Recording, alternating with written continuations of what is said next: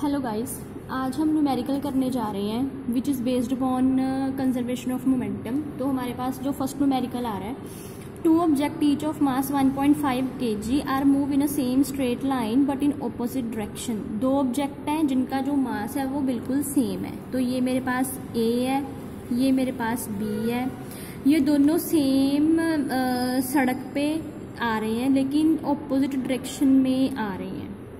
आगे the velocity of each object is this अब ये दोनों स्पीड से भी सेम ही आ रही हैं। दोनों का मास भी सेम है, लेकिन स्पीड भी सेम ही है।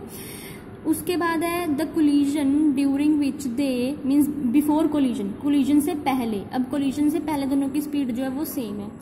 तो आपने पहले तो ध्यान रखना है कि अगर कोई भी दो ऑब्जेक्ट वो अपोजिट डायरेक्शन से आ रहे हैं तो उनकी जो स्पीड होगी, उसके आगे अगर वो अपोजिट डायरेक्शन में है तो हम नेगेटिव साइन यूज़ करते हैं। तो इट मीन्स अगर एक की स्पीड 2.5 रखोगे तो दूसरे की जो स्पीड है, वो नेगेटिव ऑफ़ हो जाएगी। फ़र्स्ट थिंग आपने जो ध्यान में रखनी है। उसके बाद यहाँ पे बिफोर कोलिजन दिया हुआ है तो बिफोर कोलिजन मीन्स टकराव से पहले जो वेलोसिटी होती है, उसे ऑलवेज हम यू से रिप्रेजेंट करते हैं। और टकराव के बाद जो होती है, उसे हम वी से रिप्रेजेंट करते हैं। तो मैंने इसे यू वन और यू टू ले लिया, ठीक है?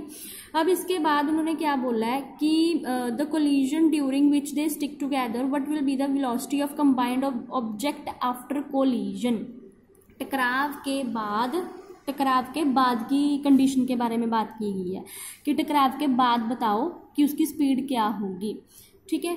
तो अब हमने पहले क्या लगा दिया कि कंजर्वेशन ऑफ़ मोमेंटम के अकॉर्डिंग क्या है? कि बिफोर कोलिजन और आफ्टर कोलिजन उसकी बात करनी है। M one V one M two V two M one U one M two U two ठीक है? हमने वो लिख लिया फ़र्स्ट का मास सेम है वेलोसिटी सेम है मास सेम है वेलोसिटी सेम है, लेकिन ऑपोजिट है तो नेगेटिव साइन यूज़ कर दिया हमने। ये सॉल्व हो गया। अब आप इस साइड आओ, अब यहाँ पे एम वन सेम है वी वन भी सेम है एम टू भी वन पॉइंट फाइव है वी टू हमें पता नहीं है। मीन्स कि टकराने के बाद वेलोसिटी का पता नहीं है। अब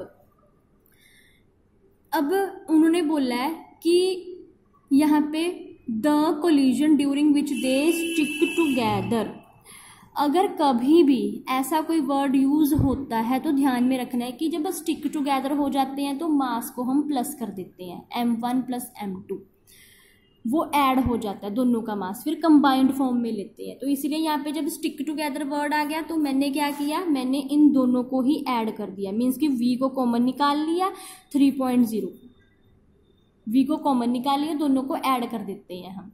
अब इसके बाद यहाँ पे इसका आंसर क्या आ गया मेरे पास? ज़ीरो आ गया। ठीक है? अब V one V two V two को मैंने वी क्यों लिया है? क्योंकि वो पहले भी सेम स्पीड से आ रहे थे, उनका मास भी सेम ही है। अब वो दोबारा जब टकराएँगे तो भी वो दोनों सेम स्पीड से ही मूव करेंगे। तो उनकी वी जो है वो सेम रहेगी। नेक्स्ट क्वेश्चन जो है, वो हमारे पास आ रहा है।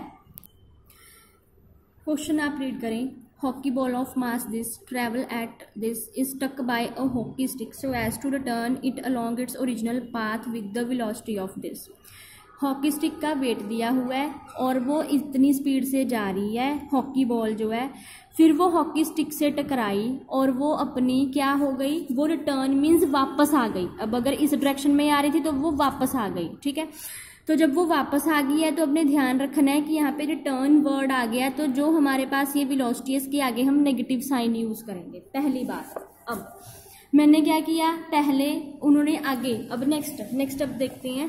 Calculate the magnitude of change of momentum तो चेंज ऑफ़ मोमेंटम का हमने क्या पता करना है? मैग्नीट्यूड पता करना है। आपने एक बात ध्यान रखनी है। मैग्नीट्यूड में हम डायरेक्शन को काउंट कभी भी नहीं करते हैं। मैग्नीट्यूड में ओनली हम वैल्यू लेते हैं। तो इसीलिए अगर वो पॉजिटिव या नेगेटिव में होगा तो आपने वो साइन नहीं लेना। ध्यान रहे।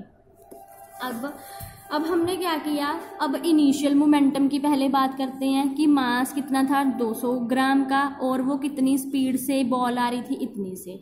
अब मैंने देखो, ये क्या है कि जो मोमेंटम है, हमने मोमेंटम भी एक तरह की फोर्स ही होती है। तो इसकी यूनिट जो है वो न्यूटन ही रहती है। आपको पता है कि अगर K G metre metre per second हो तो उसकी हम यूनिट न्यूटन ले लेते हैं। तो इसीलिए मैंने इसे अपनी कन्वीनियंस के लिए ग्राम से केजी में पहले कन्वर्ट कर दिया ग्राम से पहले केजी में कन्वर्ट किया फिर के जी में कन्वर्ट करने के बाद फिर हमने क्या लगाया? एम इंटू यू सिमिलरली इस केस में भी ऐसे ही किया कि एम इंटू वी अब नेगेटिव क्यों लगाया? है क्योंकि बॉल पहले आ रही थी इस डायरेक्शन में, फिर हॉकी स्टिक से जब ये टकराई तो ये वापस हो गई इस डायरेक्शन में तो नेगेटिव ऑफ़ लग जाएगा। अब इसका आंसर भी हमारे पास आ गया। अब उन्होंने बोला चेंज इन मोमेंटम तो चेंज को फाइंड करने के लिए हम फाइनल माइनस इनिशियल करते हैं। तो फाइनल क्या है? माइनस वन इनिशियल क्या है? माइनस इसके बाद ये आ रहा है टू तो इसकी वैल्यू आ गई minus three K G metre second दी माइनस वन अब मैंने आपको पहले ही बताया कि नेगेटिव साइन कभी भी मैग्नीट्यूड में कंसिडर नहीं होता और इसीलिए हम इसका आंसर क्या लेंगे? Three K G metre per second remember that thing I hope आपको ये दोनों जो न्यूमेरिकल हैं with the help of conservation of momentum formula clear हो गए होंगे. Thank you